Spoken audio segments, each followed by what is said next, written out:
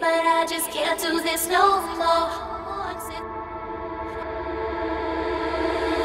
Was it every time I turned my back, you were home with your boys?